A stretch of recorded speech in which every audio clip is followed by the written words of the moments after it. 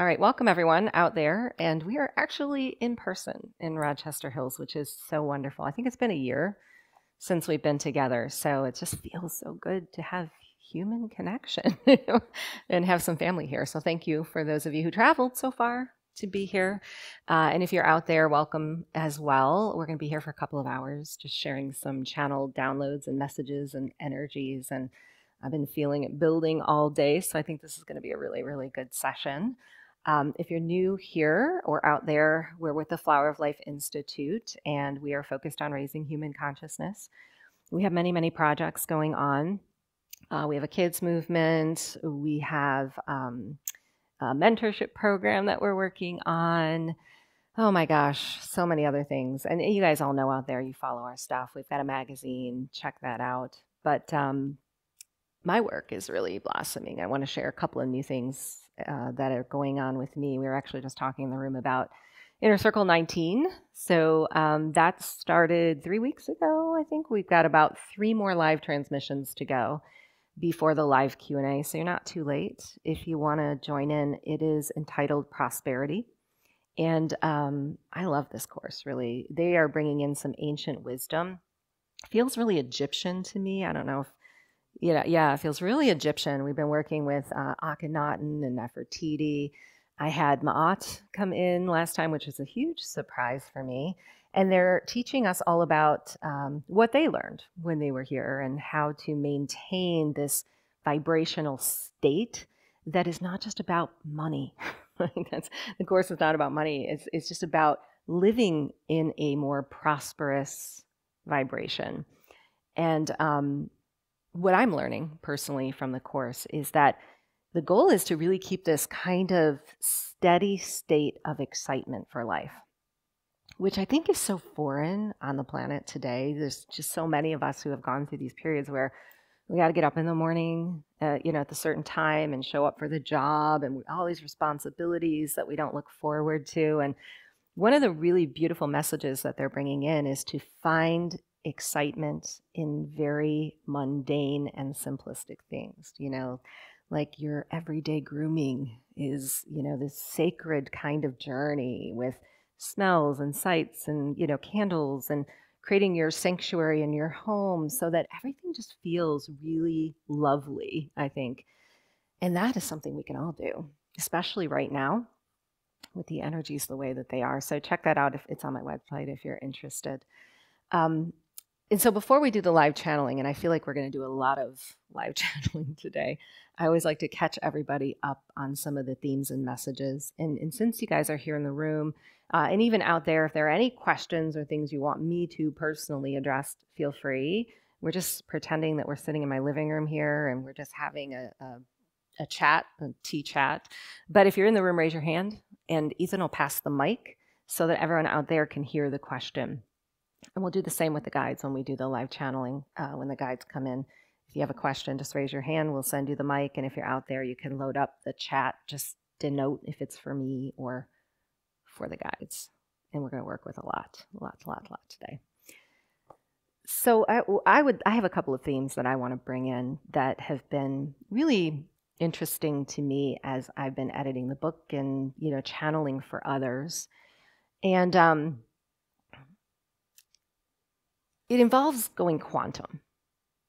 And when we hear that word, it's it's such an abstract kind of thing. You know, we always think quantum, like, oh, quantum healing, and you know, we need to go quantum, and it's really um, difficult. And there are all these steps and things we have to achieve in order to go quantum. Well, the two chapters I put out on Friday uh, in Epitayum, which is uh, the manuscript, my first manuscript of my book, um, really talked about two concepts that drive home this understanding of what quantum is and how we're already quantum, which is a really big deal. So I'm going to go backwards and then start, you know, go move forward from the, the chapters that were posted and start with time.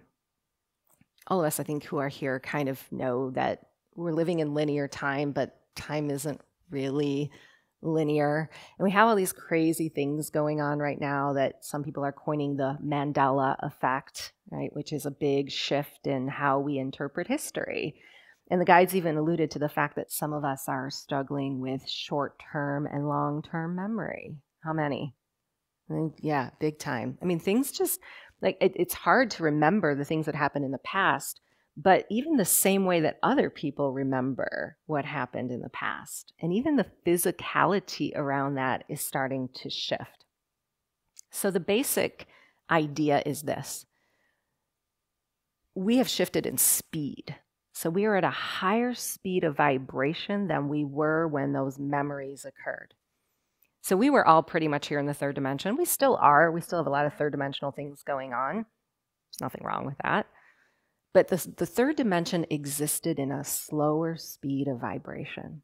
So everything that we created, our bodies, our homes, anything in our life, all material, exists in that slower speed, which is really hard for us as humans to conceptualize. But we can start to notice little things that were changing as an example of this. And I'll take our bodies, for example. I, am sure so many of you here and out there have gone on this journey of improving your health, right? Detoxification, understanding the chemical counts in foods and fluoride in water and all of this stuff. That's how material in the third dimension moves into a higher speed of vibration. It's not because we magically shift into a higher dimension and we did all this spiritual work and now we're cleansed and purified and, you know, we're light. We already are that light. But every decision we make is shifting our reality and our vibration, and everything goes along with it. So we've made all these little incremental changes and we've taken all these steps. Some of us have gone raw or vegan or organic or whatever, you know, doing all of this supplementation. That is how we are becoming more quantum. It is through these little changes, through these realizations and shifts in our life, physical shifts, they have to be physical. Right? They're physical shifts. We're moving material, our bodies, from the third dimension into the fifth. And that isn't always easy. Sometimes, as we're doing that, things come up. You know, energy comes up. We will um, unravel a disease or um, some emotional thing deep within us, a you know, a, cellular memory, something that we've been suppressing. And it's tough because we think, well, we must not be progressing if this stuff is going on, but but it's necessary. I think when we move vibrationally, we're going to naturally have to deal with things that have been suppressed or created in a different vibration that are going to come to light and need to pass on and purge. And so we have to be really neutral with that stuff when it happens. We have to be the witness of it, the observer of it. So, the other part of this, which I find very empowering and also interesting, is decision making. Guys, we're talking a lot about um, how our decision making process is a quantum process. It's what makes us quantum, it's what allows us to affect not only everything in our lives and what we see in the world, but beyond. And we're talking future generations, we're talking past, because it's all wound around us right here. So we exist in this spiral of time we're intersecting with history, things that have happened in other star systems, cosmic family lineages, things that have happened here. And all we see is the world is going to hell in a handbasket. And we have all these things, these areas of our lives that we need to make some pretty radical decisions about that are hard. And the guides are saying the worst possible thing that we could do is either not decide so choose to not make a decision, or to make a decision that keeps other people comfortable and what we think is safe. So hang with me and I'll explain why that is. If you, if you were with me for 18, Inner Circle 18, we um, channeled this entire transmission download about life force and how we are ambassadors of life force to the earth. Life force is universal energy. And we connect to that and it flows through us. And, and it, It exists in everything we are, in everything we do, in every decision we make. So we are unique templates, unique beings that are projecting light, light and life force through us through preference. The guides even alluded to the fact that it is not only our birthright to prefer, it is our responsibility to live in our preference. It is how we serve. So we can clear away all this crazy stuff that, you know, eh, eh, I know there's so many of you out there and you in here who are healers and meant to work on the grids and meant to clear entities and, and all of this stuff. And that is so important. But every single day, every decision we make, no matter how big or how small, is running life force in a certain direction to create something in our collective hologram. That is how significant we are. So if we do not do those decisions justice, if we are not aligned with our truth when we make them, we are not serving. So many have come to my transmissions and have asked questions about what's happening in the world and keeping people comfortable and safe. And we're empaths we feel the amount of fear and we want to shift that for people. But if we take it on ourselves for them, we're not doing our service justice, which is the whole reason that we're here. Because we do not have the ability to change anyone else's reality. We don't have the ability to shift their perception, how they feel, what decisions they're going to make. But what we have to know is that ours are fusing together in this really cool matrix to uphold a certain reality. And it's reliant upon so many unique decisions that if we were all going the same way, it would totally fall apart. So, in the midst of this, I'm also transmitting in session. You know, I have a lot of people coming to me now with extremely challenging circumstances that they're dealing with at work, right? With family members, with a variety of different things. And what the guys have been sharing is this kind of intellect that comes from within us that all of us have the ability to tap into. But it doesn't come from interpreting the current landscape, which is a really hard concept to get into because we think we have to look out here and evaluate the pros and the cons and project into the future about what might happen and what might not happen. And as we do that, we're actually creating. So we have to be really careful when we are projecting and we're doing all of that. If we do it in the right frequency, we can contemplate all day long. We can say, well, this might happen and that might happen. But the goal is really to get more expansive than that when we are practicing anything, which I know you guys are all practicing stuff in here and out there, the goal is, is to find our center where that intelligence exists, where we get to choose beyond what anyone else thinks, beyond what the world is mirroring to us, because there's a lot of distortion out there right now. And, and that's been one of the biggest message that messages, I should say, that's been coming into my session work is a lot of the things that we're paying attention to are just distorting our reality and taking us away from our intellect and our intuit, which we worked so hard, haven't we, in this spiritual movement and community to trust in what we know and what we receive from all of these beautiful guides and beings who are actually extensions of ourselves. That why would we go back to following everything out there? which is again, it's kind of like an up leveling for us to really trust and have faith in that, that we're going to make the decision from a place where we are spiritually embodied and we have the free license to arrive at a perception and a decision from in here. But more than that, we have to remember that everyone else can do the same. And if we don't allow that in the world, we are going to hamper free will because free will is reliant upon the free will of every other being. And, and so we're not talking, you know, they remind me here, we're, we're not talking about harmful acts, right? We're not talking about physically and emotionally harmful things. That has its own separate category. we're talking about allowing everyone to follow their desires and their preferences, even when it doesn't resonate with our own.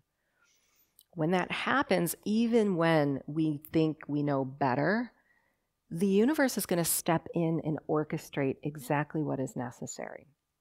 So, if we take this idea of being quantum a bit further, and let's take the example of soul contracts, because this is the one that was brought up in the book. We see decisions so linear, and we think it's black or white. We're going to take this path, and it's going to hurt somebody, and it's going to be wrong, or we're going to take this path, and, and we'll play it safe, and everyone will be okay. But in the astral, in the ethers, there are things coming that we know nothing about.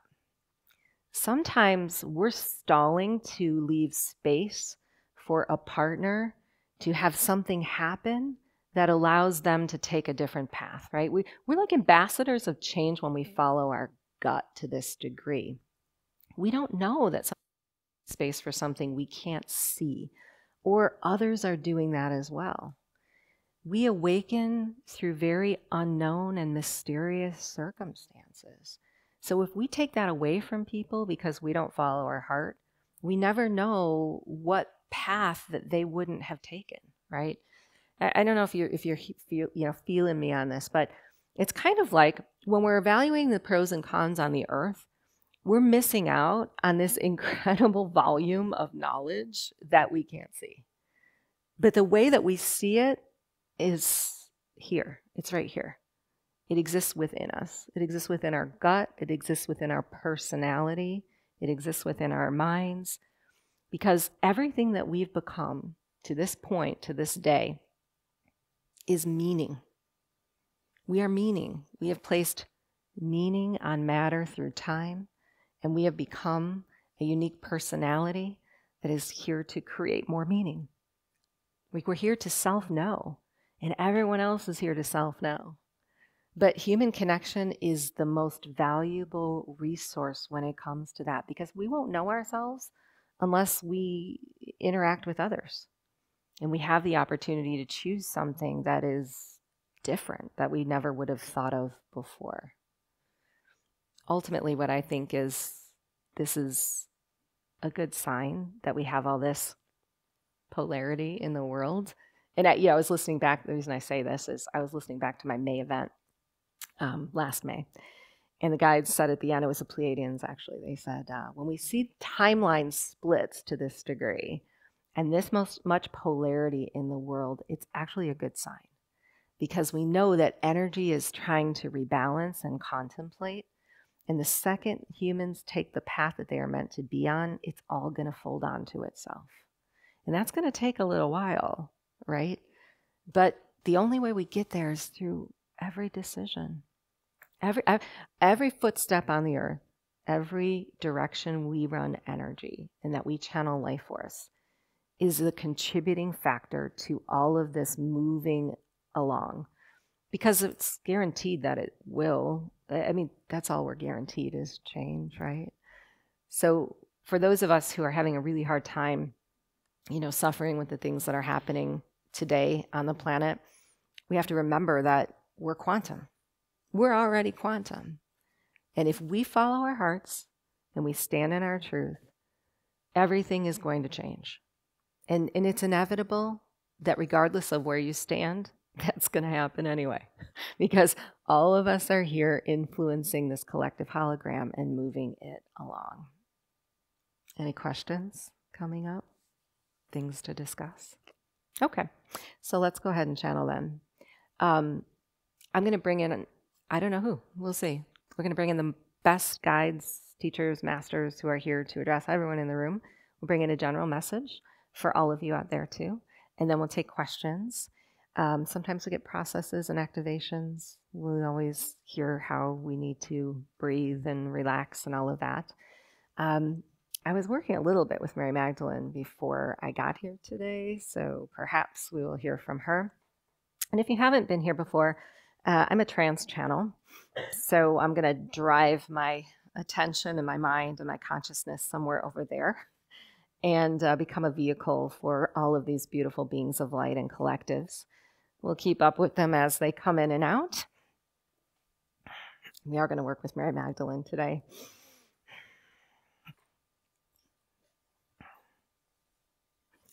It is through the grace and the honor of our presence that we offer this transmission, for we are not one but many. As I am offering this guidance, it is purposeful within you because it is something you already know. It is bringing to the surface an alchemical part of who you are that has been neglected for a very long period of time. It is certainly sovereign and it is free, but it is something even more beautiful and purposeful than that. You are the elemental construct of all creation. Through time, we have witnessed the incredible manifestation of the human collective in many forms, in many lights. You are now walking within the fragments of masters. When you embodied, you carried them back to the earth. And it was through your willingness and the contractual agreements that you made to step onto the earth plane at a time very similar to many others throughout history. The history that you are replaying may not come as a very easy experience, yet it is one that many of us rose above and were able to find the perfect orientation to our creative vehicle through.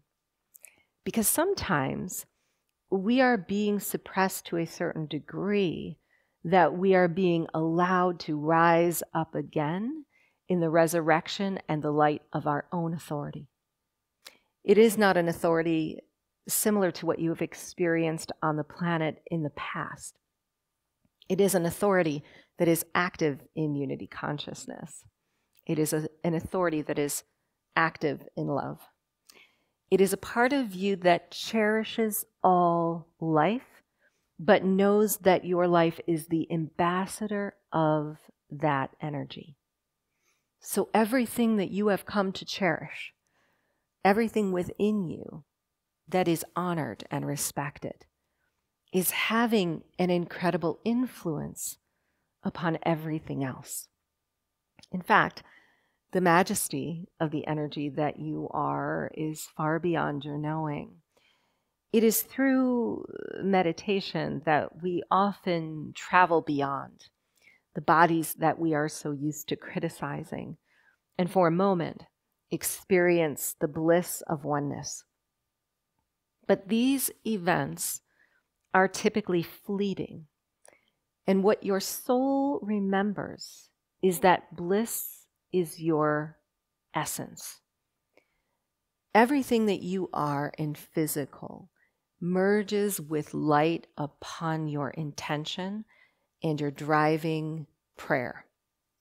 Meaning, what you are focused on, the affirmation and prayer that you offer, becomes a valuable channel within you to bring source energy to the earth and share it with others. But if we cannot hold that feeling of bliss, because we find ourselves in an earthly situation that is dense and not to our liking, we will never realize the creator that we are. We will never realize the master that we are. When we come to speak with you, it is not because we are channeling through one being. It is because you are all upholding a field through your belief and through your consciousness that allows us to step forward. It could never be through the responsibility of one that these energies are ushered in. Often it is not seen in this light that these events are taking place co cooperatively, but you come as a diamond crystal ambassador of every being that will step through in this transmission because you are one with them, because there could be no difference between who you are now and who you will continue to be and who you have been through time. It is just that you do not see the perfection that we do in this moment. And as we are sharing this with you, like a cosmic mirror reflecting back your brilliance, you are now imbued with the remembrance of it to take back to your life and cultivate it in ways you have forgotten. Because creation is not a physical thing. When you are inspired to create in physical, it is coming through the connection, the contracts, the agreements of many. And this is why physical creation on the earth plane has been somewhat lowered in its ability to fulfill, uh, to joy, uh, joyfully fulfill those who are creating. What we desire for you is more of the flow and connection of what we speak who we are uh, has been focused on creation in a different way than you are today. But that is of no consequence because what physical truly needs from you right now is to stand within the power of your creative energy, to feel it for yourselves before you put it into solid action. Even if it means you must stall even if it means you must contemplate, even if it means that you sit in meditation for days on end. Align yourself perfectly.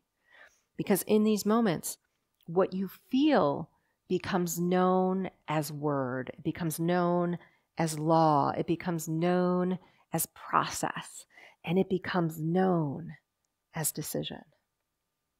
There is nothing that you have learned to this moment in the physical world that can prepare you for the level of creation we speak of. It is otherworldly, yet it is within you to uncover when you hear the sound of your own creator self. The energy that is imbued within you, speaking loudly through discomfort and joy, the paths to take. This inner meridian complex and technology is a GPS, and it is not difficult to ascertain. It comes through the breath, it is allowed through the pause, it is opened within your heart, and it is shared with others as you walk softly and lovingly upon the earth. We're very pleased to take questions that you may have. Can the guides tell us more about sacred geometry, that which we in this community are ready to illuminate to help us in this ascension? We are Noah. We are a collective of many disciples and ascended masters who consider ourselves Christ consciousness. And we want to bring the idea of sacred geometry to you in a way that perhaps you haven't heard before. While it can be extremely mathematical, and translated through quantum physics, geometry is the rhythm of nature. It is seen in all things. And you are an extension of that. You are an extension of all things that are upon and within the earth and beyond. What we see as we observe the heavens and the cosmos is a sacred geometry of source that is channeling energy and resource between all beings that exist and span all space and time. And as we speak of this, we also recognize that each planet and star system has developed often their own, their own flow of energy, their own geometry, and their own structure and system that can be either very harmonious or somewhat imbalanced. It is important that each planet and race have and maintain a level of energetic coherence and ex- extension and expansion for the benefit of ascension. But this is also where things can become very vulnerable. Because there are many elder beings and ancient ones throughout time who understand the ease of working with geometry. They understand the influence of ancient symbology and they understand how it operates within your bodily structure. So, if a very malevolent group of beings wishes to capitalize upon the energy of another, they can very easily structure some type of geometric uh, technology that siphons currency. And ultimately, this is what we have seen happen on the Earth plane. Now, it isn't happening so deliberate as a holographic physical technology. It is truly happening within your own DNA. It is the geometry of your own spirit and physical bodies that need to be realigned. So, everything that you are in this moment and everything that you are doing is contributing to either the balance or imbalance and flow of this energy. This is how critical you are to sacred geometric alignment and balance. And it comes not from one thing. We are very pleased and, and especially hopeful to see so many advanced healing technologies and modalities appearing on the surface of the earth. We are also very excited that many of you are practicing and recovering ancient modalities of, of breath all of these things are making an incredible difference. And how the geometries within and upon Earth, within and upon the surface of humanity, reconnect and to rebalance. But to simplify this, we suggest finding balance each day, which we know is somewhat a very foreign concept and can be taken in a very complicated way because it may seem to take a great deal of effort in order to find balance. But we are speaking of very simplistic things that help you to feel grounded and help you to reclaim your energy. Because truly, what we see happening on the plane of the earth is that humans are reclaiming their energy.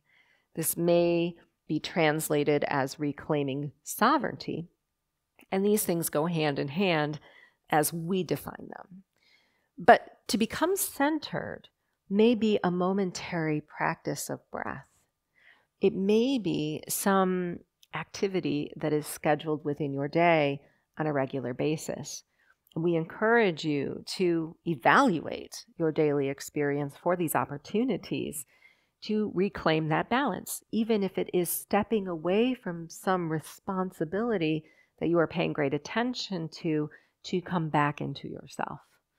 So we think it is inevitable that the grids, which are the geometries of the earth and the universe, will come back into coherence and reconnect very prosperously for humanity. But you are all contributing to that individually as you continue your journey. Is Kundalini Yoga a good practice to raise consciousness? I know there's been much controversy with the person who brought it to the West. We are the Lemurians, and, and we are pleased you brought this question to the attention of many because we see Kundalini Yoga as a cosmic practice that has come to the earth through many hybrids. In fact, in our civilization, it was taught to us by those who came from other star systems to our civilization but certainly not unlike many other things that have been taught to humanity through time, there has been some manipulation and retranslation of these teachings. We may bring, for example, the Bible into your uh, perception. Uh, the biblical teachings that, that many share today are translations that are not complete, and some may have alter, ulterior motives for sharing them there is a certain um, statement we want to make about what you are referring to, especially evolve, involving the teacher or the foundation of this practice. Some have come with a very pure intention to share something that is powerful and healing for humanity, but have been manipulated through the idea of competition, self service, or through some focus of frequency modification to change it through them as a tool of separation.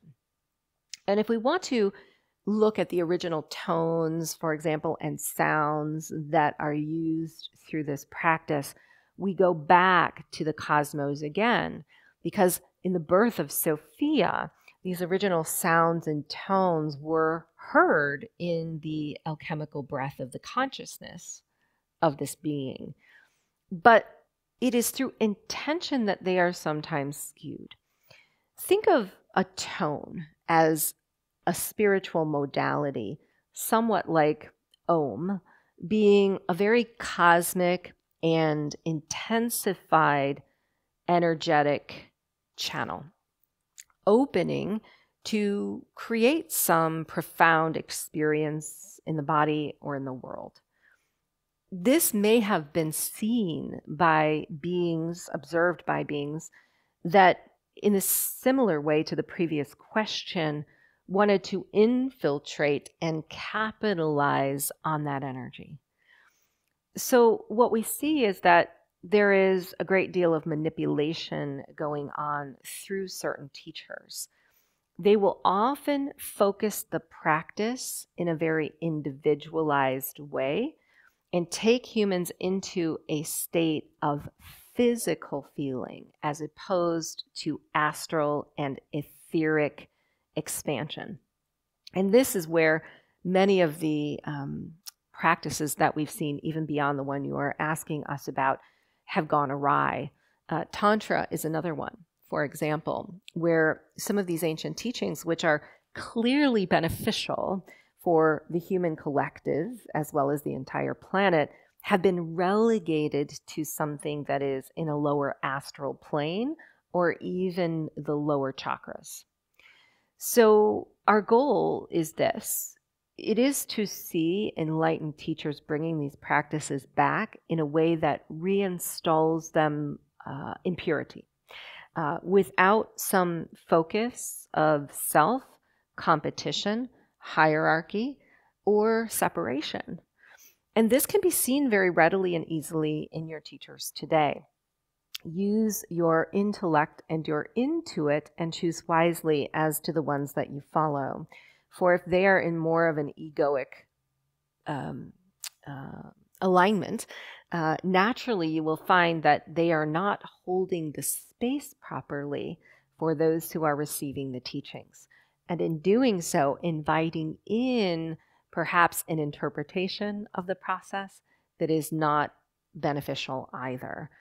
We believe that where you're going uh, will command that many of these practices be uh, reoriented, meaning uh, when you move into a higher dimension or you're existing in a higher vibrational plane, things will come to light. There will be a great deal of transparency. And those who have been, been manipulating for a great deal of time uh, will also be just as transparent. It does not mean that the entire practice should be thrown away, but perhaps that it should be more deeply explored uh, to bring back its origins. There's trepidation among many scientists in exploring topics that seem intangible and immeasurable, like consciousness and spirituality, and yet they must be included in order to have a more complete understanding of all that is. How will we be able to make this leap as a society from our current paradigm to one that includes an understanding of consciousness? I love the spirit of scientific inquiry, but the field itself seems to have stagnated. We are the Council of Light, and we already see this happening on the surface of the earth. The issue that you're having is that there is still a variance in consciousness that is not allowing it to hold and expand to the degree that you desire. Ultimately, the study of quantum physics and consciousness has been building in the collective for quite some time. But we don't believe that science, as you know it today, will take a back seat to this way of thinking because you are ultimately here uh, to be physical beings. And in every structure and societal area of consciousness, you are going to find a merging. And that means taking what was before, which in some cases is valid, and using it as a tool with these spiritual and more quantum topics. When we speak of science, we are not speaking of often the measurements that you are looking at on the earth plane because there was a time and place for this where measuring physical quantities and qualities and uh, prescribing certain routines around research was appropriate. What we're truly speaking of is the understanding of how everything is connected. This is ultimately what we believe you are speaking of, which is the foundational approach upon which everything else will arrive. Because until the scientists on Earth come to the realization that everything is ultimately affecting everything else and connected beyond physical presence, you will not arrive in the future that you are speaking of.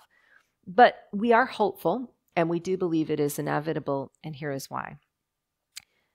In many respects, where you are headed is not only a reflection of your consciousness, but how your consciousness merges with what has happened before and what is happening now in the future. This is very difficult for a human mind to conceptualize that you're actually merging this moment with knowledge from the past that will be applied in the future and taken into this timeline in a very unique way. But it is true that we see the efficiency and the speed of your access to this knowledge increasing twofold. Meaning that even though what's happening on the surface of the earth may seem um, disillusioning, may seem as if it brings discontent, it is not the full picture of how everything is playing out. as a Council of Light, uh, we are privy to holographic models. Uh, this is quite different than the way your scientists would measure the potential of some future experience. Uh, what we are doing is we are calculating vibration and we are looking at everything that exists now and how it is implicated by everything that was before and taking it out into the future in a way that it is inevitable. And this is why we can be so hopeful because it is through these holographic models that we see where you are headed. And it is good. It is a fifth dimensional potential that we believe is coming that will replace all things on the surface of the earth.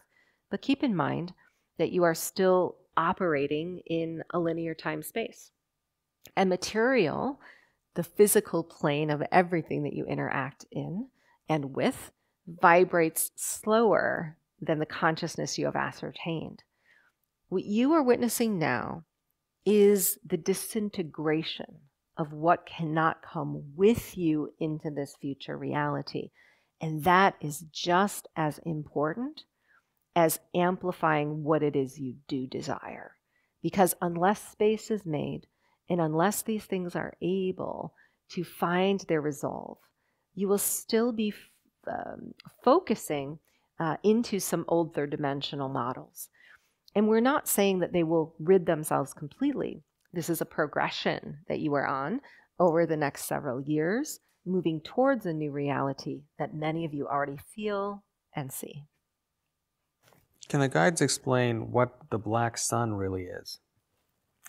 We are the Pleiadians.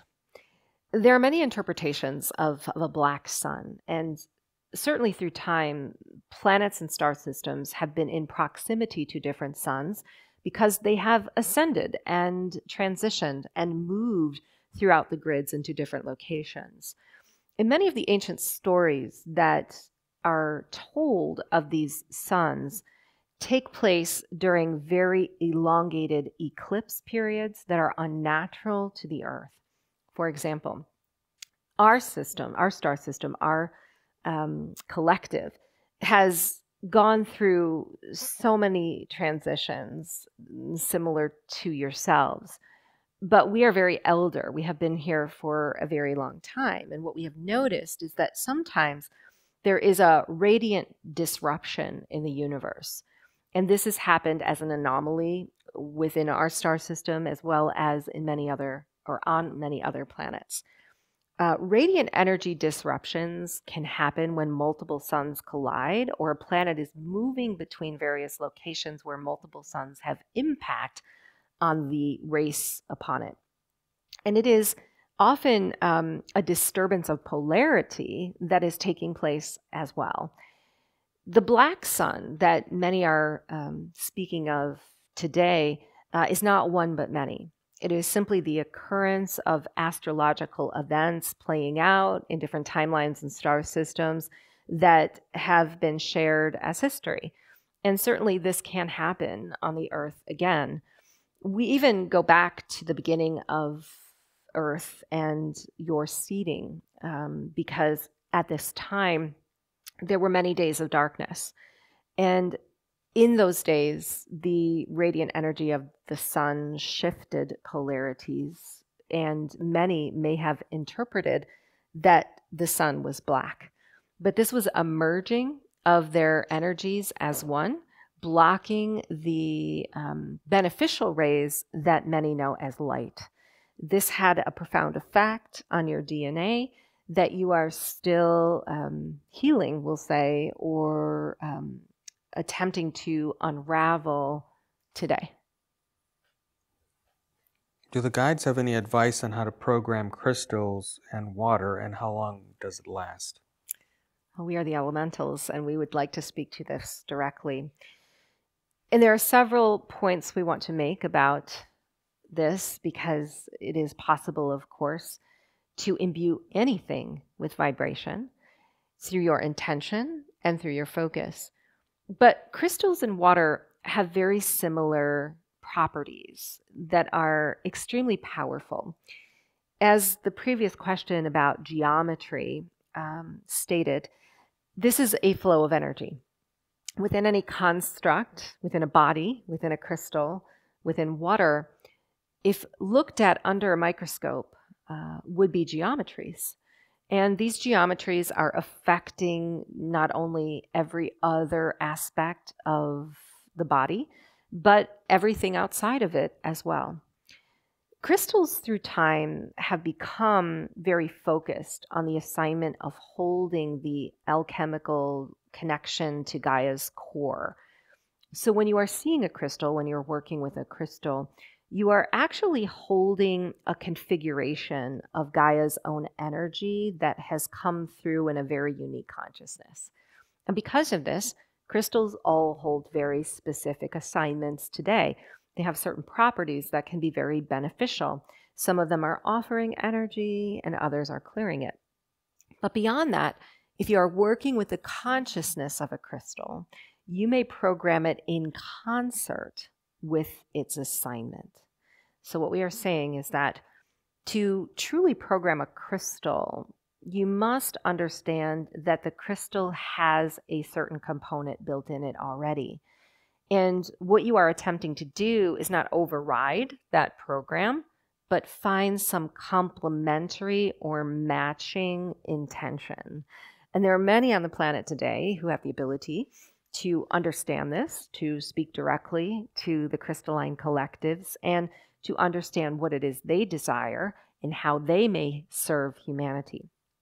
If we go back to ancient times, for example, Atlantis, these crystals were seen as beings. They were not only uh, technologically advanced members of the society, but they were revered and looked at as masters those who programmed them were working in concert with them.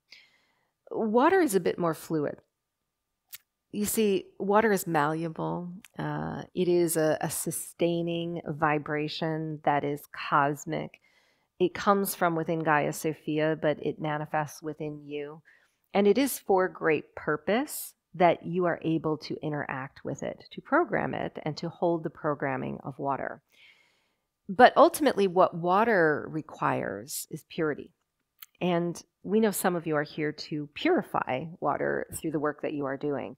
We always advise this as the first step to hold the programming. And this is why. Much like crystals, water has been um, taken from its original form. Um, it has been changed or modified. It's been um, subject to impurities, uh, chemical counts, for example, that has unstructured its beauty and coherence. So, to truly hold any programming within water, whether it be your own programming, imbuing yourself with love, or a vessel of water, uh, stating its um, complete transition into a purified state is a very important component of that process. Now, the length through which any programming will remain is a very difficult question to answer, and this is why. Every human who is working with an element or water for healing, for example, is a different being with a different structure, with a different intention, and with a different divine plan or purpose. And who they are offering the technology to is also a very unique and diverse being. Often, what we see is when a crystal is programmed or water is programmed, it is offered to someone as a healing vehicle. And it is through their belief and intention that the programming is maintained. Because as a healer, um, as an activator, as a cosmic soul, you cannot hold space for others for eternity. If this was the case, there would be no free will. There would be no reason to be a creator. So keep in mind that teaching is often a valuable tool when we are using these modalities. We can channel uh, prayers, for example, and intentions to hold the programming that the ambassador of the crystal or the water is responsible for stating or we can evaluate the length of time needed for the program to remain in place. All of this is, is up for interpretation uh, and may be widely approached by many. Hello, everyone. I'm new here, so uh, being a grounded person, you feel a lot of responsibilities and have uh, trouble looking into the future and responsibilities of you know uh, marriage and kids and then how do you make that transition of being uh, you know afraid of the future and fear of money and uh, materialistic things? And then how do you transition that into manifesting it so that you won't have that many clashes with the significant other or something? So that's my question as to how do you transition that well, we're the Pleiadians, and where many of you stand today, the transition may seem great. And this is what we hear and feel from you is that there are so many things going on in your life that it seems overwhelming to move from point A to point C. And this is where the vibration of what you are anticipating in the future needs to be considered. Sometimes we might say it is prudent to keep yourself more in a present moment focus if this is the occasion of your life. Because in the present, while you may feel a lack of responsibility for caring for the safety of others and yourself in the future, you're allowing a higher power to step in and support and guide you. And this is what is most forgotten is that you do come to earth with an entire not only suite of energy that accompanies you perfectly, but many guides and beings and angels that are purporting to send signals to you on the earth to direct you to the timeline that is most prosperous and fulfilling. But when we are so encumbered by responsibility and fear of what may happen in the future, we are not in the right vibration to hear or see or receive all of this support. So, our advice is this when there is fear, anything that is drawing your attention in the outer world that is causing fear, it, it is only a message coming from your internal wiring of a change that is already possible. What we fear is often a path that we are not meant to take. And this is why we fear it. Because to us, to our inner self, to our higher self, to our soul, it seems so uncomfortable that we know it could never be on our path. But the problem is we see no other path to go.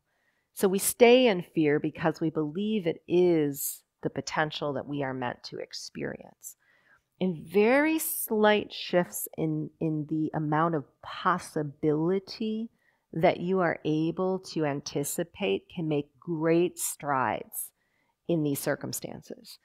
Meaning, sometimes we have to question exactly what we believe the future will hold. And this is where consciousness is a, an incredible tool because when you are becoming more conscious, you are expanding your viewpoint of the world to see that it could never be one way. And as we are standing here today, looking at the energy fields of all of you, it would be impossible for us to count the number of potentials that you have already created that are beneficial and co creating and moving you in directions of resource and abundance but it is just that you do not perceive them. It is through universal law that a matching frequency or feeling of these possibilities helps to ground them. And sometimes this is a very difficult place to maintain because everything that we are doing feels so hard. But this is also where we need to simplify. We need to get into the present moment details of every task with such zero point precision that we are no longer negating the fact that we are creating our reality. Because if we do this, we'll find that our work becomes much easier. You see, many of you are focused into tax, tasks that you do not want. And what we see is that in the discomfort or the dissatisfaction of doing them, your mind is always projecting you outside even if the task is no longer resonant with you, if you come to the foundation of it being in your life through the acceptance and the, we'll say, um, surrender that it is there, incredible and miraculous changes can happen.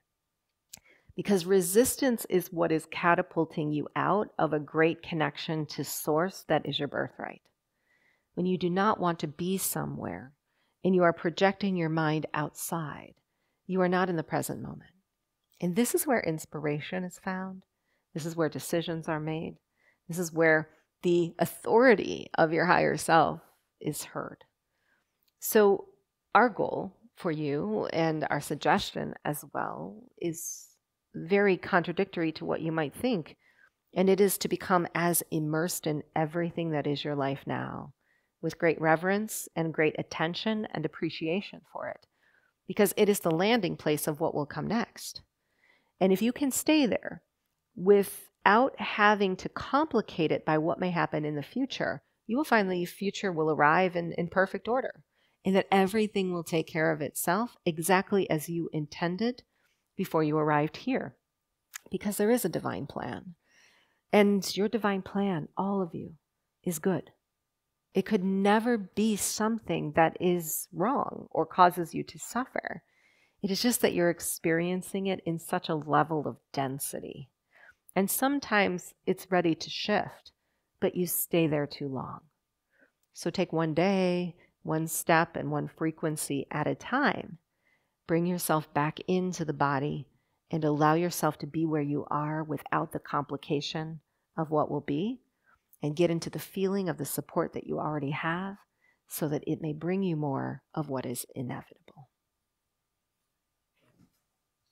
Seems that there's a lot of um, beings coming to Earth right now. Um, and I'm finding that most of them are coming to parents that are very indoctrinated into the system, meaning they're they're vaccinated, they're following all of the the rules, is this on purpose? Are these children coming to help us along the way?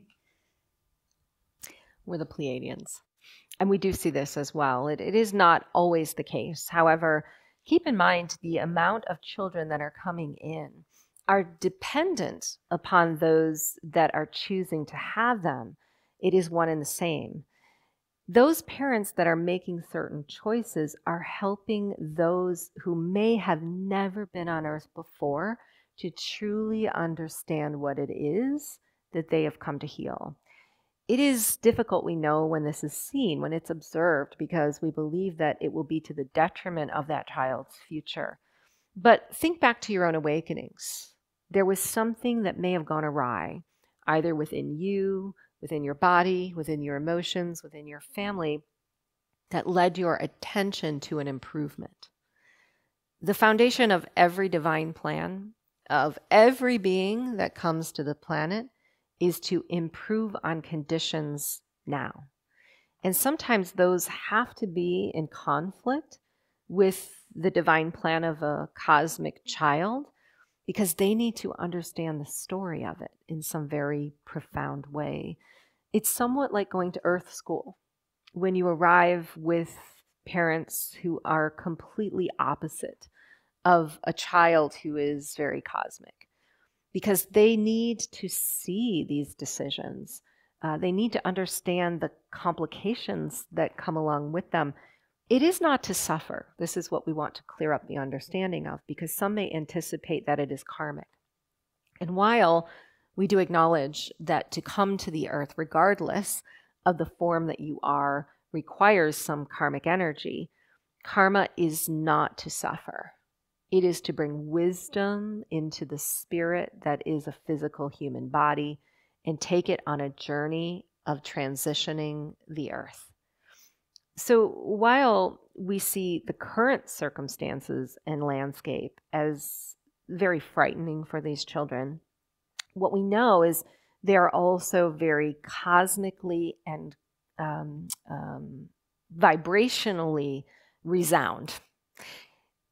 In some cases, this can make them more sensitive to toxins and um, um, frequencies on the earth, but it also um, allows them to have a, a, different resonance than many humans are holding. Uh, and because of this, they may be guided to more energetic processes and abilities to transmute these energies that than are aware uh, that many are than many are aware of today.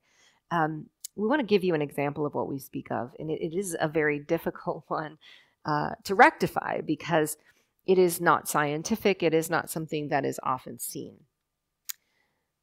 Uh, cosmic children, uh, hybrid children who come to the earth, have a great deal of etheric activity that is going on, and they do not separate it from their experience on earth, they see it as very blended. And there may be times when they're starkly aware that their cosmic families are present. They are taken on ships. They are supported by those that are clearing their fields, helping them to understand how to do it themselves in very simplistic ways. And there's a great deal of telepathic exchange that goes on with these children as well. This, in and of itself, is a part of the process um, of being uh, a hybrid child, but also gives us the faith and courage to know that lower vibrational frequencies will ultimately not be sustainable within their bodies for long periods of time. Either they will be led to detoxify them or the detoxification will take place in the astral. It does not mean that we are um, uh, in allowance of what is going on in the realm of decision, uh, or we support that in, in any sense of the word. We're just taking you into um, a more expansive viewpoint of, of how we see these contracts in the astral and bringing your attention to them in ways you may not have considered. Sometimes I wake up and become filled with terror there uh, there's a first a sense of movement as if moving through water and then i come to waking consciousness and suddenly feel intense fear fright and dread feel it in my chest i don't understand why or how to stop it. Is this something you can address? We are divine mother. So many empathic souls today are becoming so unified with the collective that they are taking these energies upon themselves, especially those that are very diligent in their practice, who are finding themselves often in the astral, because the body has a difficult time moving between realms. And there certainly are two very distinct vibrational and dimensional fields that are operating simultaneous on Earth. And this is not to say that what you are experiencing is wrong, but we do believe that those who experience this are here to counteract it in some very collective and powerful way. You see, the frequencies that create empathy in the body are the same ones that a healer may use to transmute it. It is somewhat like a telepathic process that we find ourselves in. We may, uh, for a great deal of time, be traveling the astral and find ourselves in different dimensions and come back to earth and in a moment's notice feel the shock of coherent energies in our heart gathering up messages from multiple humans that we were not in touch with for a great deal of time. But in these moments, if we can be diligent to send the opposite frequency of love out to the collective, we will not only become balanced within ourselves, we will find great purpose. This is often not seen as something that is very effective, but these signals are somewhat like the technology of the human spirit telling you that you have a great responsibility. And it is not by your fault that you are feeling this, but through your will that you are meant to transition it. And if you can stay within the alignment of your healer self, um, going back to the initial message from Mary Magdalene and many others, uh, the master that you are that has come to earth, you will find no fear those of us who were here during the time period most known as Christ were taught this very practice because we were working much in the astral to prepare for the ceremonies that would take place. Uh, we would find ourselves going beneath the earth and deep into Sophia to commune with her. We were traveling to connect with our star sisters very often. We were focused diligently on meditation. But we would come back into our bodies, and our beautiful and precious souls would feel the organic fear of what we were yet to face. It was in these moments that we were taught to channel the greatest love, to channel it first within our bodies, and then to extend it through our auras onto the surface of the earth for every other being to receive. This is what brought us the confidence and the faith and the trust of a master. But it also, in seeing after our transition, added a very beautiful quality to the template we left behind. It was not only for the purpose of the resurrection and the rebirth of many, but to hold constant the history and the, the, the uh, teachings of divine feminine, uh, which are not only physical, they are very vibrational as well. I feel a telepathic dialogue from implants from 12 star beings. Can you help me understand if their purpose is aligned with love and light? We are the Pleiadians, and we are very pleased to answer this question. First, it is not our intention to create fear. However, there are so many different forms of implants that exist throughout the cosmos and we see many humans that are complicated by them today. But what you are speaking of um, is something that we see as very organic and pure. Contracts and assignments with intergalactics exist in many planes of reality. And it is often the dimension you stay in the most that has the influence on the technology or the implant itself. Let us explain you may be implanted with something that is not to the highest and best interest of yourself or others. And it may be sending frequencies and messages into the mind that are directing you outside of your organic truth. But the only ability that you have in these moments is to resonate above where that technology is focusing you. There are many who remove these technologies, and we have a great deal of respect for them. But unfortunately, we see that it is up to the authority of every being to choose their reality to ensure that what is operating within them is sovereign, true, and good. So we want to confirm that cosmic beings that you have connections with in the astral or otherwise are always mutually beneficial. What that means is messages that are brought in, if they are in a technology such as this, will not only improve your path and reality, uplifting you in some way, but have purpose and meaning on the whole of the earth. These two things must go hand in hand for a soul to know that what they are operating with is pure. So if there is some level of destruction in your life and you are receiving messages from cosmic beings, at some point you must rectify the imbalances between these two things. And this will ensure not only that a negative technology becomes dismantled, but a positive one becomes amplified.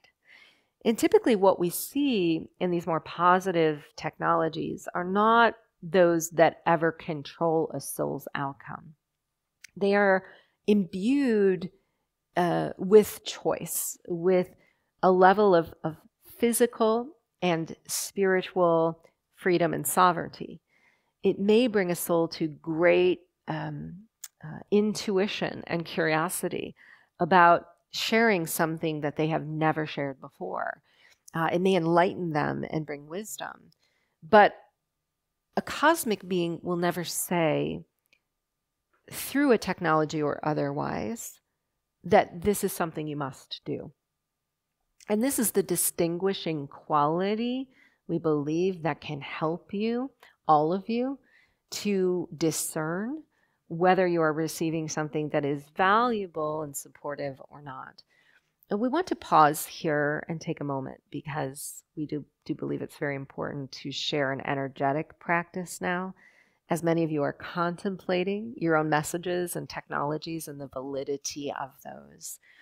So, all of you who are here and those of you who are beyond, we simply ask that you find comfort, however best that is for you uh, utilizing the chair that you are in as your transitional guide to to move you through the astral with the breath,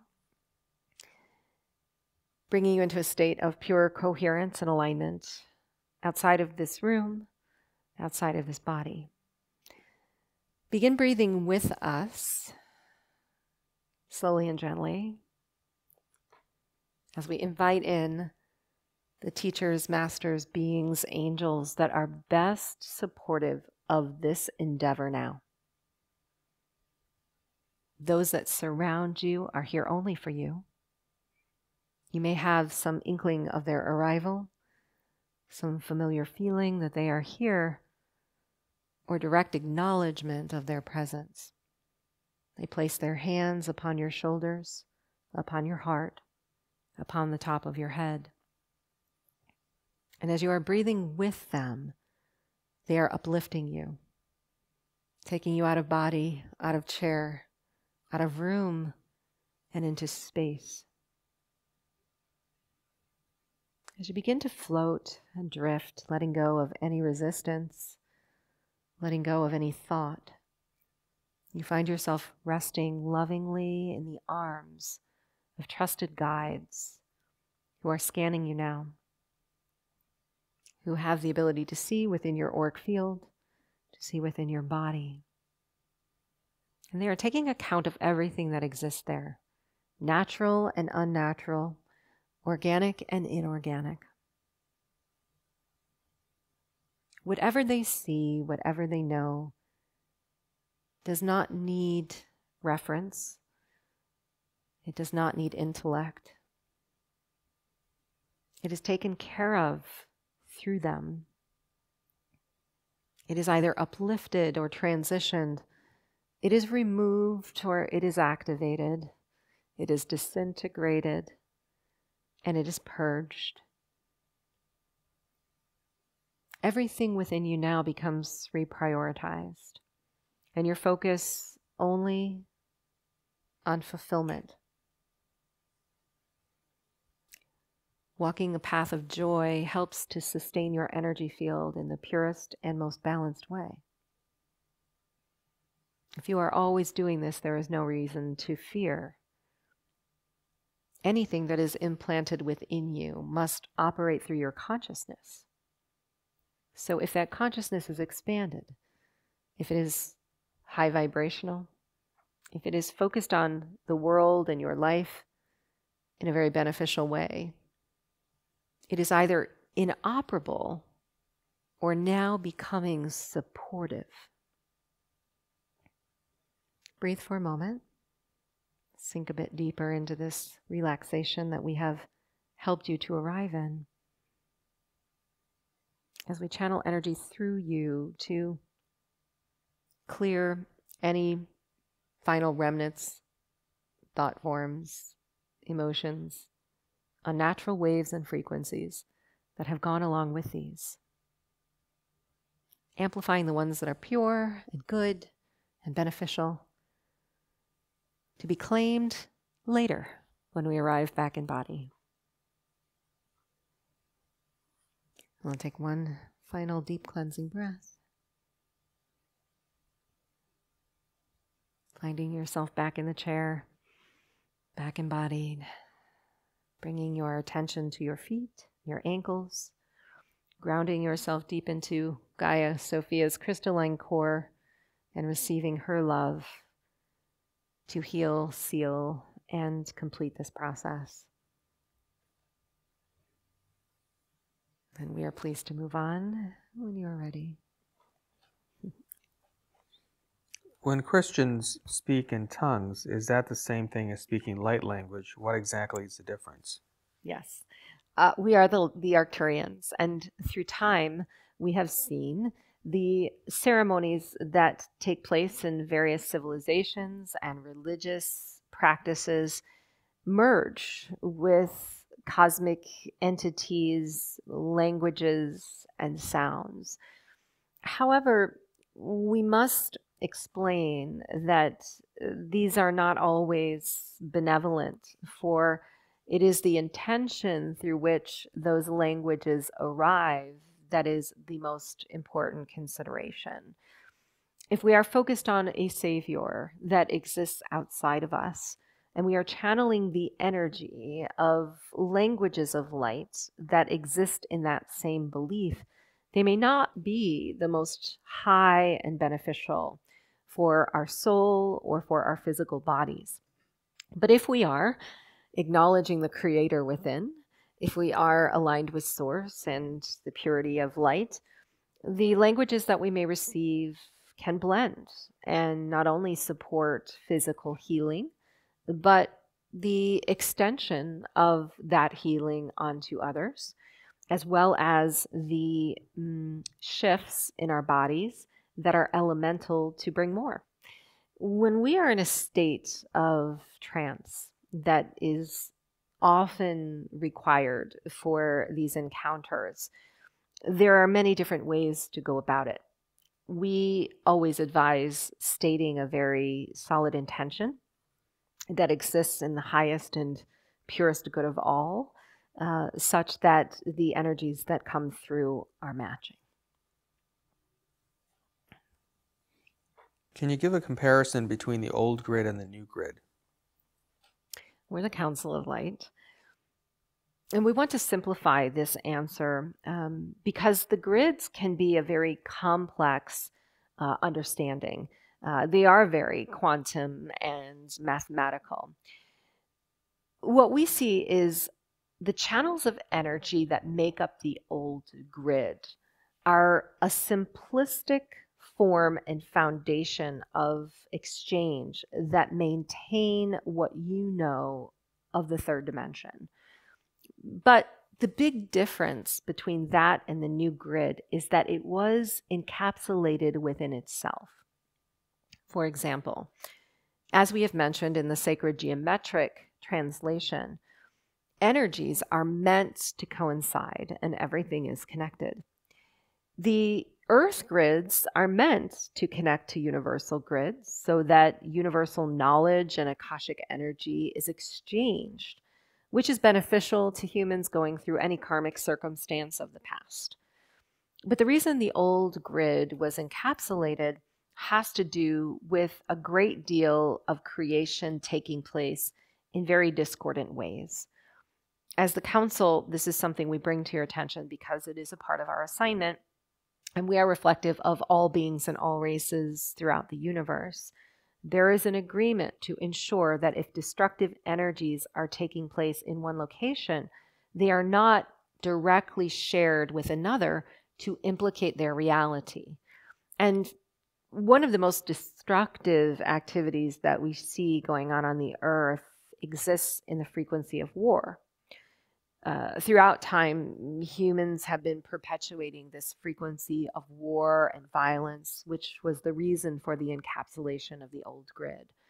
So essentially, what we believe happened was the third dimension was a vicious cycle and loop of repeating karma, keeping societal um, structures uh, very stagnant and not advancing in the way that they could.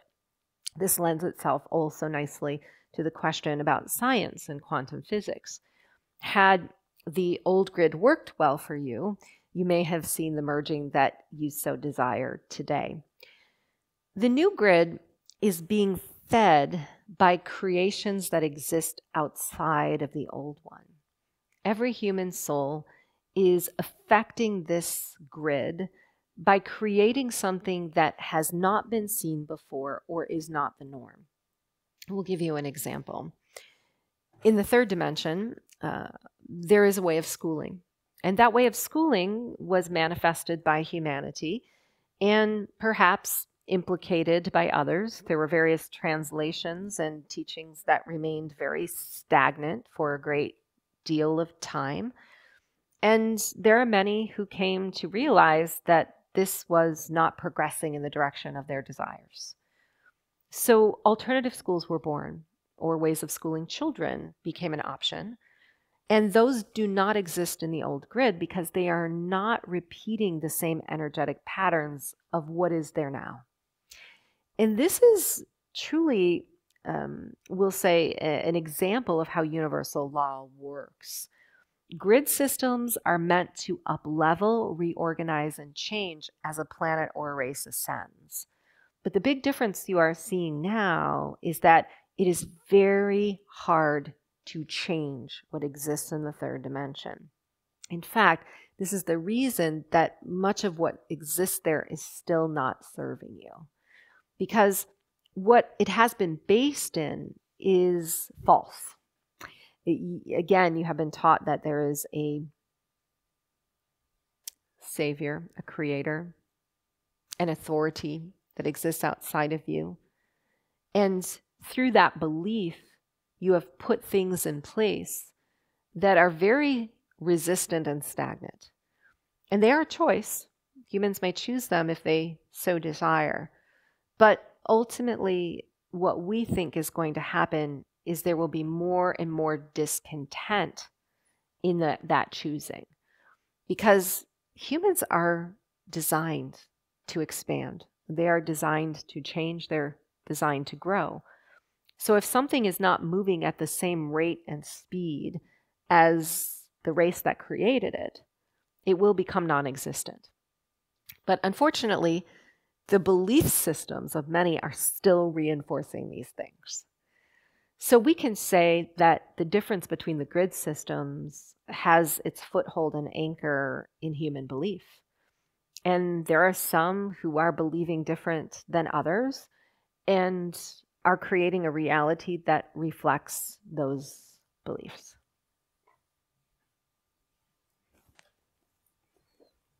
My nine year old son recently confessed to me that he sees energy in people in shapes He feels a lot. What are the best ways to support and develop his gifts, providing he doesn't feel uncomfortable sharing this with his peers?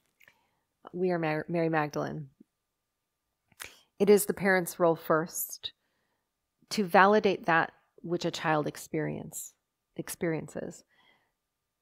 This is the most important step, we believe. It is not only the foundation of trust that a soul that is the child will find within themselves, but it provides somewhat of a stable foundation to grow the gift and ability that is being discovered. Because if we do not validate and trust what a child sees, they will not validate and trust it themselves. And in doing so, may become misled into energies and experiences that can be fearful. In the validation, there is also, um, we'll say, an opportunity for a parent to guide a child to validate their own experiences without them having to teach. We see so many who come to the planet with these advanced gifts, stepping into them very quickly and easily. But they are so unique and so different from how parents and teachers perceive energy that there may not be an ability to actually teach them something that they already know. So, in other words, we think the most important path is to set up a framework where a child is free to explore and become their own teacher.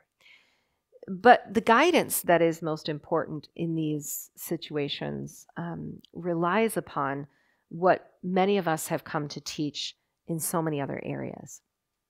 When we feel validated, safe, comfortable, and heard, in human connection, we will receive the resource that is needed to amplify that in our world and the world of others.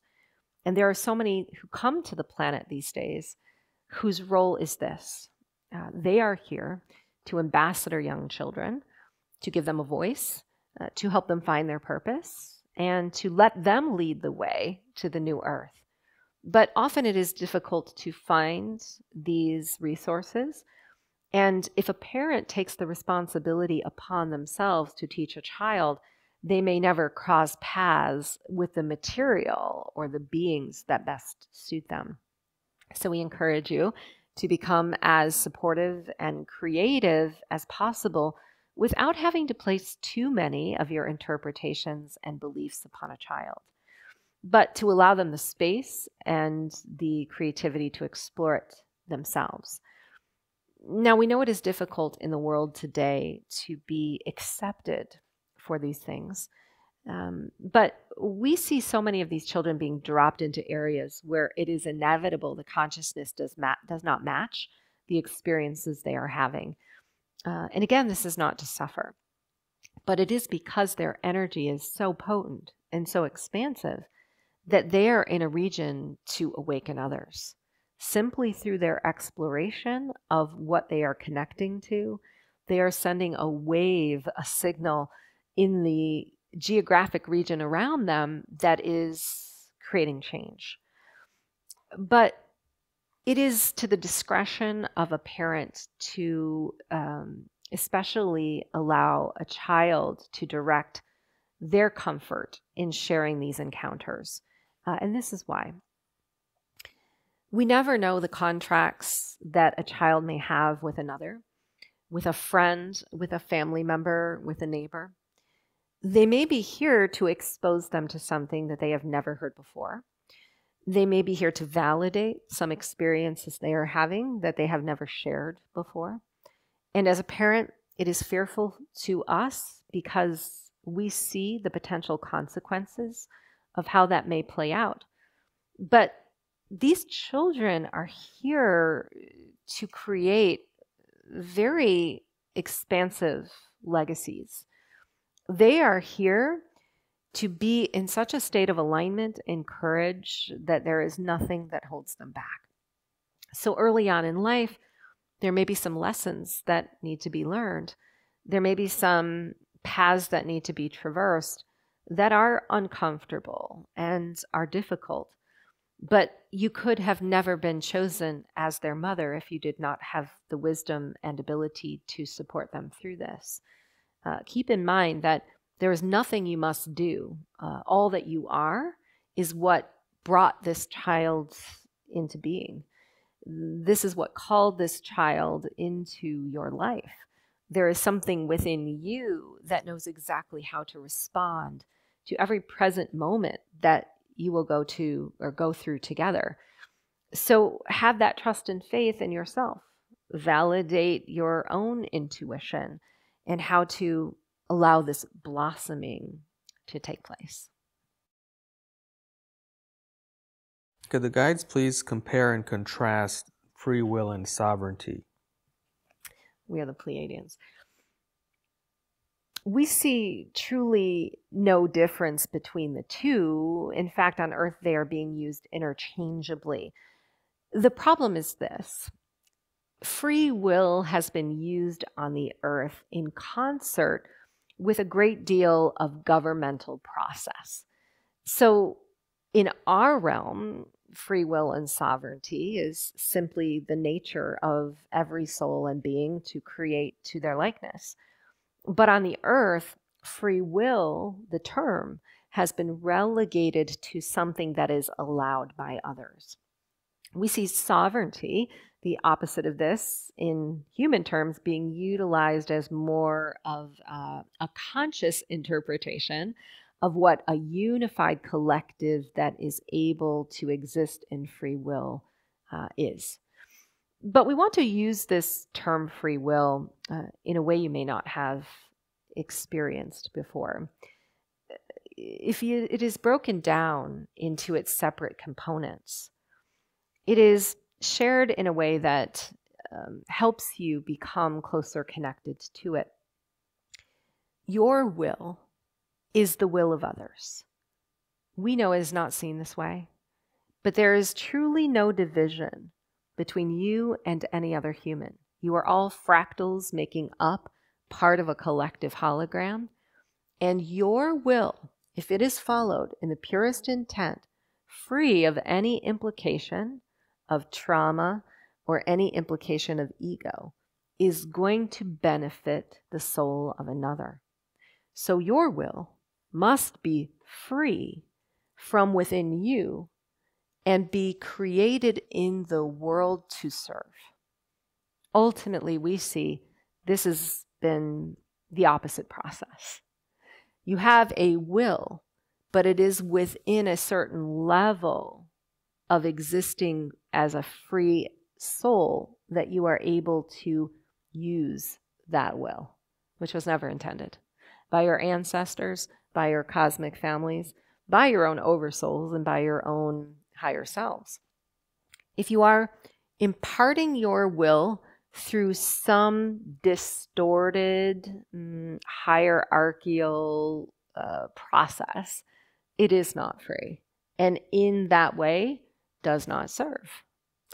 We think you are moving into a period where all of this will take care of itself, but you must also attend to yourselves because everything that exists within you is a reflection of something else in the world. We mentioned trauma and ego. These are two very important factors that we believe are elemental to the shift in consciousness ahead, and ultimately what we see playing out in resistance of sovereignty. Because if you follow your will and allow yourself to move beyond trauma, and to not exist within the false ego, you will find your life in complete alignment with your desire, which is sovereignty, and supporting everything else that needs to also be free. We have so many mm, high hopes for where humanity is headed, but we also have a few concerns. And we think this is a, an occasion to bring those to your attention. There's a movement today on the earth, a movement of many, to take this term, free will, and imprint it with the idea that it is selfish. That if you want to move energy to your will freely, that you are not considering other humans. And if this continues on, you will find more stagnancy and more closed doors and more resistance and inability to actually do what it is you intended. But further, the distortions that are playing out at the level of the collective have their foothold in legality, something that we have also watched degrade on your planet over many years. Humans are attempting to use the process of legality um, to govern and allow free will. But free will is something that is already existent. It is within you and it is on the earth to reclaim. These are false paths, we believe, to attempting to receive something that is already your birthright to claim. So be wary of these two areas uh, that we see very potent and intensified as of late, because they are teaching younger generations perhaps the wrong path to take and the wrong definition of sovereignty. Question for Mary Magdalene. I've been told I'm of the lineage of the Sisterhood of the Rose. What is the purpose for us at this time? We are very pleased to address you, as there are many speaking through this channel, as Mary Magdalene also is present. The Sisterhood of the Rose is a very ancient lineage of divine feminine masters who span multiple timelines and generations. We have existed on multiple star systems, and we come back now to create a template of love that is the foundation of the new earth. But it is also our intent to help humanity rebirth parts of the earth collective. We're not speaking of humans here, we're speaking of collective consciousness. Areas where the masculine, which is a very beneficial frequency to uh, access has become out of balance and has focused humans in very physical, mental, and unnatural ways. We also are here as agents of transition. We are working directly with Sophia, the consciousness of Earth, which is also a divine feminine presence, and helping that presence and frequency to flow through the meridians of Gaia to the surface. You see, all of you who carry this lineage are here with very unique and diversified talents and gifts, uh, are being directed uh, in very different ways. Some of you are bringing the Akashic knowledge of ancient history to Earth and helping to explain it. Others are sending transmissions of divine feminine energy through their field and into the entire collective. Some are here repairing grids and releasing the karmic overlay of past incarnations that have yet to resolve. It is a very massive, um, we'll say, and intensive assignment, and there are many who are uh, assuming these positions. There is a commonality, though, uh, in answer to your question. The ceremonies that those who are in the Sisterhood of the Rose attended um, are coming back to the earth in mass. And this is important because, as an enlightened civilization, you may find that spirituality is going to lead the way into new physical life. And it is the feminine in many star systems that allowed this to happen.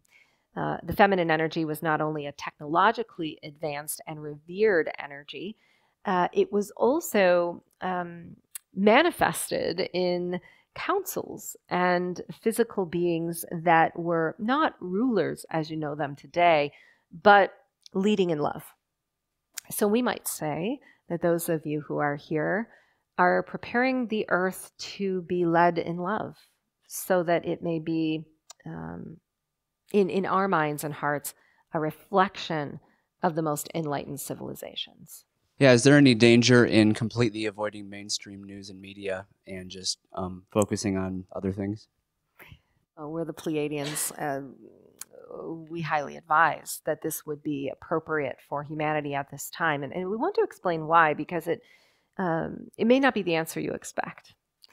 While there is um, a, a, media outlet, we would say, that, that so does hold some truth on the planet today that has not yet come to full fruition, the old grid is supporting most of them even what you see in the more conscious and alternative media outlets has some foothold, we believe, to the frequency of fear.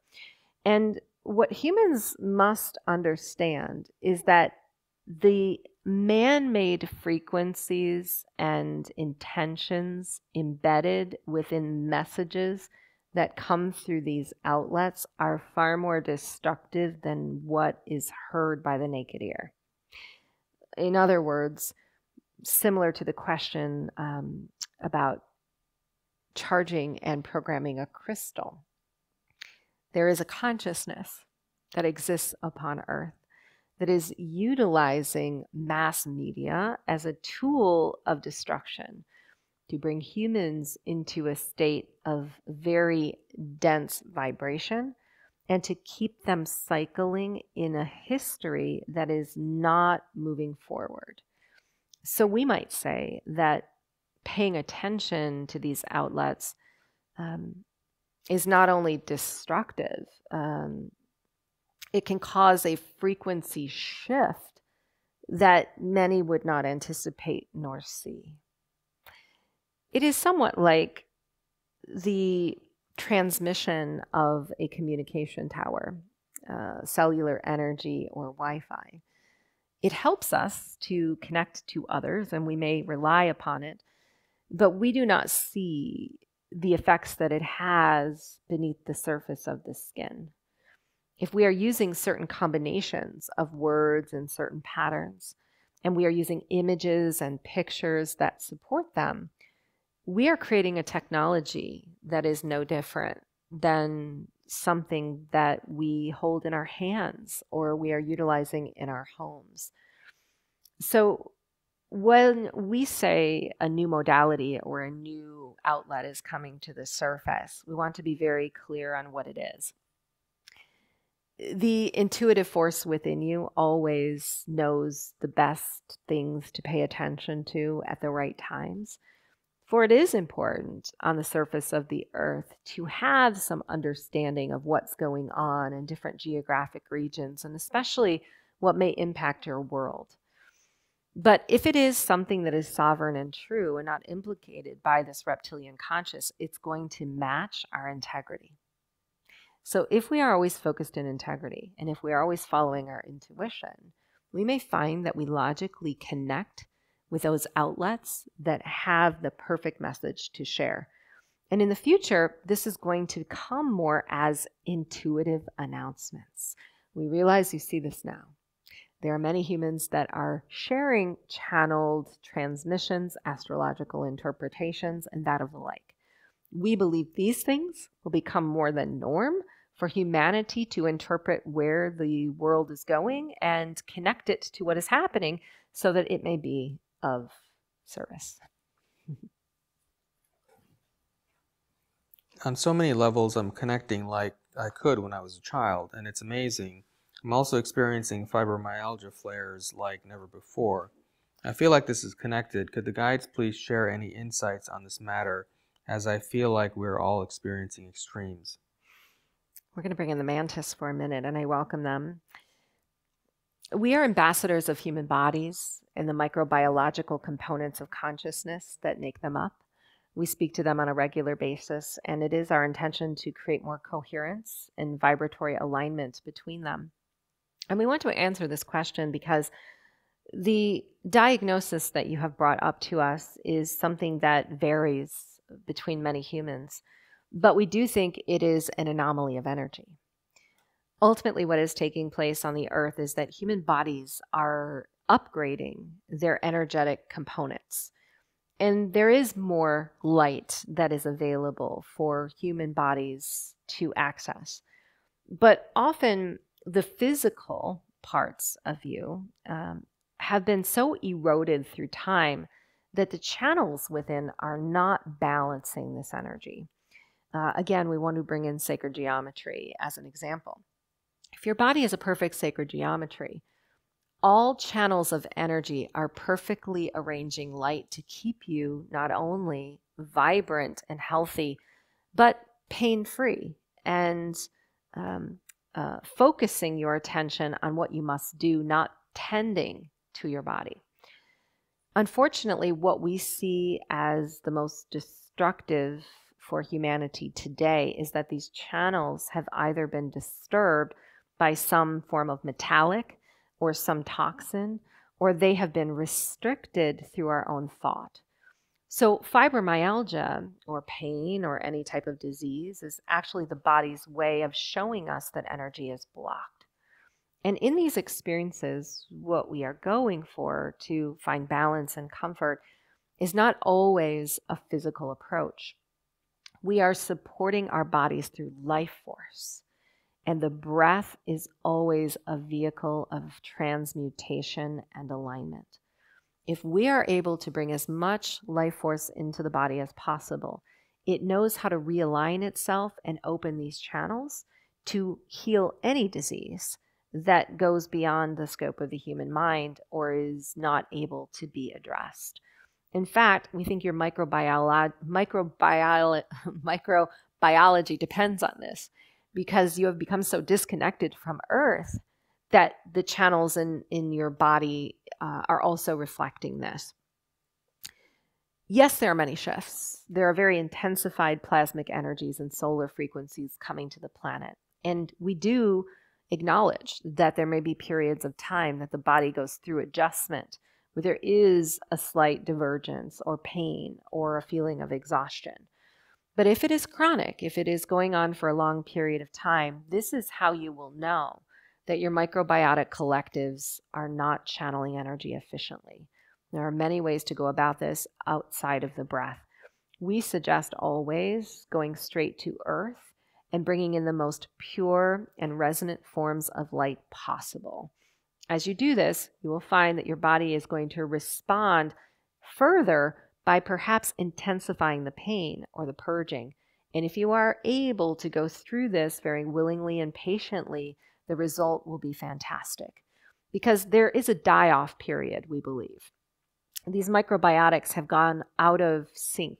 Some of them are meant to be there and others are not. Some are in very high counts and others are very weak counts.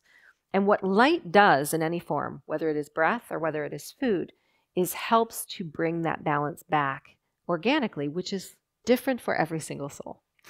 We see so many of you following following specific diets and protocols for health. And we want to go back to the previous question about news and media. If you are following your intuit, you will be guided to the exact approach that your microbiology is calling from you, as opposed to using the mind as a tool to find it. This is where we see many humans going wrong.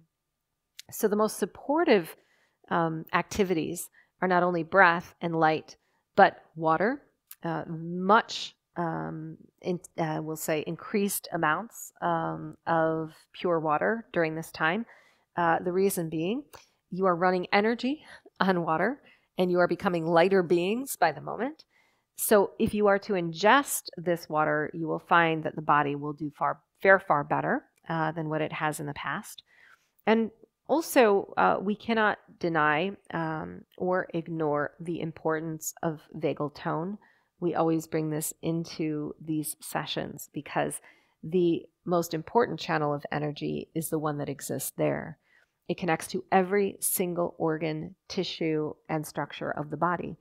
And if you are actively um, um, increasing this tone through multiple forms of practice, uh, you will find that you will also be in um, um, far more comfort through these intensified shifts in energies uh, than you would otherwise. Uh, one more message we will we will relay. Um, Sacred geometric balance in the body stems from this place. It is a central channel that runs right along the back of the spine. And it runs in concert with and intertwined with the vagal nerve, which is a sonic vibration or a harmonic tone. When that is amplified, uh, when it is practiced, you will find your body vibrating into perfect alignment with very little effort.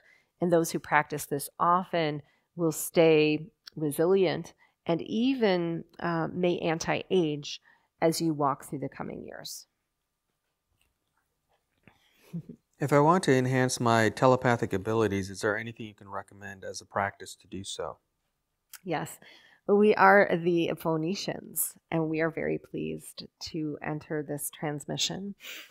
Uh, telepathy is already present within all of you, so it is not something that must be efforted at so much as uncovered. And there are many individualized paths to understand your telepathic abilities. The most chronic process that we see that gets in the way of telepathy is an overactive mind.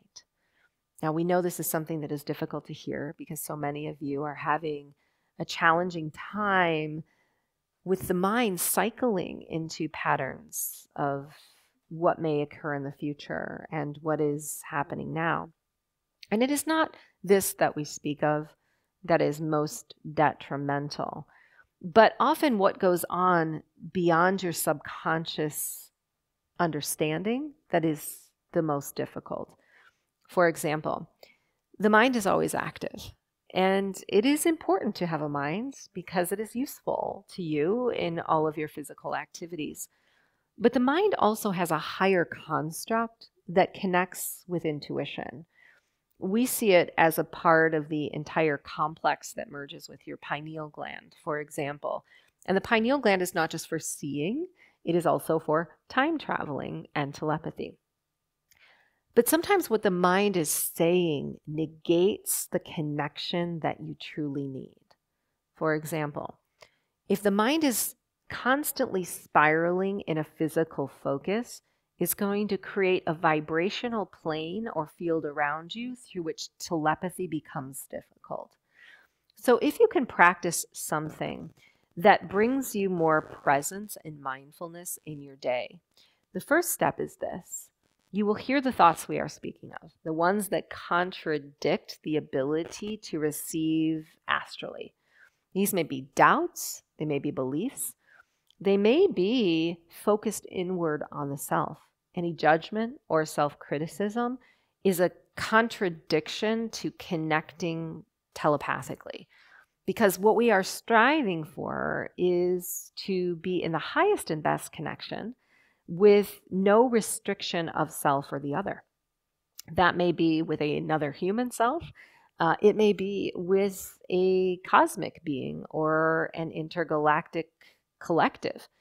But the purity of our vibration is always the foundation upon which these gifts arrive.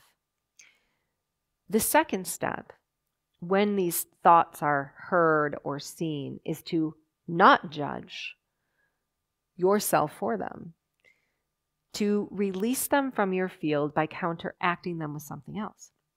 These may be affirmations, prayers, intentions that you create in complete contradiction to anything that degrades your vibration. Practice this for some time. And what we believe may happen is this your sensory will start to become more sensory. When the mind takes a back seat and only does what it is meant to do and rewires itself through your intention and direction, you will begin to feel, see, hear things that have never been in your field before. And this is the third and most important step validation. In these moments, even the slightest validation of some shift in our frequency, some shift in our sensory, will build that muscle. And this is what we want if we can go about um, uncovering our gifts naturally as opposed to efforted, efforting at them so diligently or, or um, uh, religiously, uh, we will find more ease uh, and grace and, and purpose as they arrive.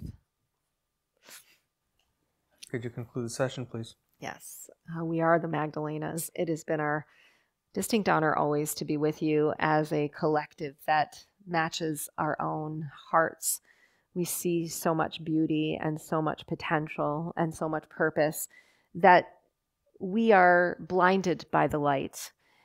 We only hold the highest hope for you at times when you are feeling it is absent. And we share it with you energetically through the breath. Remember us always and breathe often so that you may receive it. Many blessings. Okay. Thank you. Thank you. Thank you. Thank you. Thank you all for being here and co creating that experience with me.